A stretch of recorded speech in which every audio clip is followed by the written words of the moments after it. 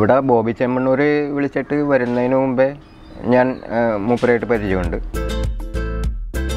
ആരൊക്കെ ഉണ്ടായാലും ഹോളാ എന്ന് പറഞ്ഞിട്ട് കൈ കൊടുക്കും ചെന്നിട്ട്.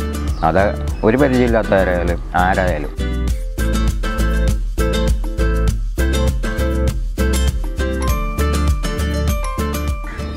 എനിക്ക് കുറച്ച് ഫിനാൻഷ്യൽ പ്രോബ്ലംസ് ഉണ്ട്. അപ്പം ഞാനിങ്ങനെ എന്ത് ചെയ്യണമെന്ന് ആലോചിച്ചുകൊണ്ടിരിക്കുമ്പോഴാണ് എന്റെ ഫ്രണ്ട് രതീഷ് പറയണ ഇങ്ങനെ ഒരു ഐഡിയ പറഞ്ഞായിരുന്നത് ഇത് വിറ്റ് കഴിഞ്ഞിട്ടുണ്ടെങ്കിൽ ചേട്ടന്റെ എല്ലാ പ്രശ്നവും തീരുമില്ലെന്ന്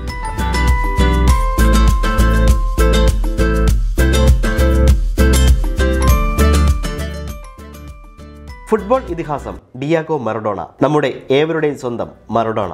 മറഡോണയുടെ ഒരു കാലത്തെ ഹെയർ സ്റ്റൈലിസ്റ്റ് ആയിരുന്ന ഒരു മലയാളി തനി കൊച്ചിക്കാരനായ അൻവർക്ക ഞാൻ അൽവാസൽ ക്ലബ്ബിൽ വർക്ക് ചെയ്തുകൊണ്ടിരിക്കുകയാണ് അപ്പോഴാണ് ഒരു ജർമ്മൻ കോച്ച് അയാൾക്ക് ട്യൂമറായിട്ട് അയാൾ തിരിച്ചു പോകണാണ് അങ്ങനെയാണ് മരഡോണന കൊണ്ടുവരുന്നത് ഇവർ അപ്പോൾ അവിടെ ക്ലബ്ബ് മുഴുവൻ പരന്നു കഴിഞ്ഞ്. ഞാൻ വൈകുന്നേരം എങ്ങനെയായാലും കാണാലാന്ന് വിചാരിച്ചിരിക്കുമ്പോൾ ഒരു പതിനൊന്ന് മണിയായപ്പോൾ എനിക്ക് അഡ്മിനിസ്ട്രേഷനിൽ നിന്ന് കോൾ വരണതാണ് ഹേ ഡീഗോടെ മുടി വെട്ടണമെന്ന് പറഞ്ഞിട്ട്. നേരെ പാം ജുമേറയിൽ ഒരു പ്രൈവറ്റ് റിസോർട്ടിലാണ് മുമ്പ് താമസിച്ചിരുന്നത് പ്രൈവറ്റ് ബീച്ചൊക്കെ ഉള്ള അവിടെയാണ് പോയി മുടി വെട്ടുന്നത് ഫസ്റ്റ് കാണുമ്പോൾ തന്നെ ഹോല എന്ന് പറഞ്ഞിട്ട് വന്ന് കൈകാര്യണത് ഒരു പരിചയമില്ലാത്ത എനിക്ക്. രണ്ടായിരത്തി പതിനൊന്ന് രണ്ടായിരത്തി പന്ത്രണ്ട് കാലഘട്ടത്തിൽ അൽവാസലുണ്ടായിരുന്നു അത് കഴിഞ്ഞിട്ട് ദുബായിയുടെ സ്പോർട്സ് അംബാസഡറായിരുന്നു അപ്പോൾ അവിടെ പോയിട്ട് മുടി വെട്ടേണ്ടി വരും. കാലങ്ങൾ കുറേയായിട്ടും അധികം ആർക്കും അറിയാത്ത ആ രഹസ്യം ചേർത്ത് പിടിച്ച് മറഡോണയുടെ ഓർമ്മകളിലൂടെ യാത്ര ചെയ്യുകയാണ് അൻവറിക്ക.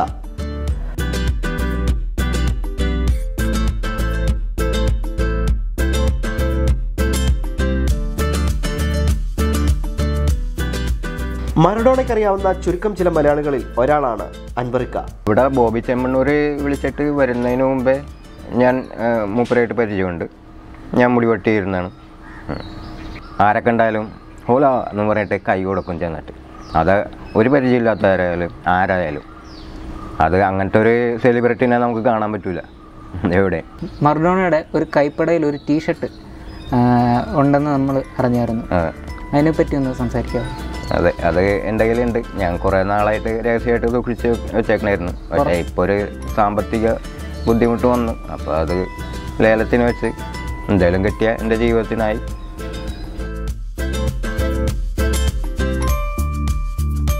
മറഡോണ ലോക ഇതിഹാസമാണല്ലോ ഫുട്ബോളറാണല്ലോ മറഡോണ.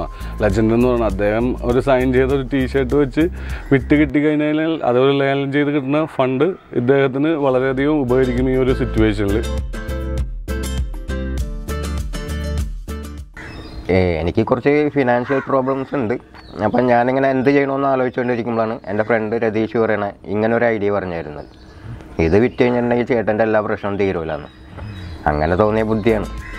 ഇത് വിറ്റും കിട്ടുന്ന കാശ് കിട്ടിക്കഴിഞ്ഞിട്ടുണ്ടെങ്കിൽ എന്റെ ഫൈനാൻഷ്യൽ പ്രോബ്ലംസ് കഴിഞ്ഞിട്ടുണ്ടെങ്കിൽ ഒരു ഡ്രെഡ് ലോക്കിംഗ് ബ്യൂട്ടി പാർലർ തുടങ്ങാനാണ് താല്പര്യം. അത് ആഫ്രിക്കൻസ് ആണ് ശരിക്കും ഡ്രെഡ് ലോക്കിംഗ് ചെയ്യുന്നത്. അപ്പോൾ അവരെ കൊണ്ടൊന്ന് അങ്ങനെ ഒരു ബ്യൂട്ടി പാർലർ ചെയ്യണമെന്നുള്ളതാണ് താല്പര്യം.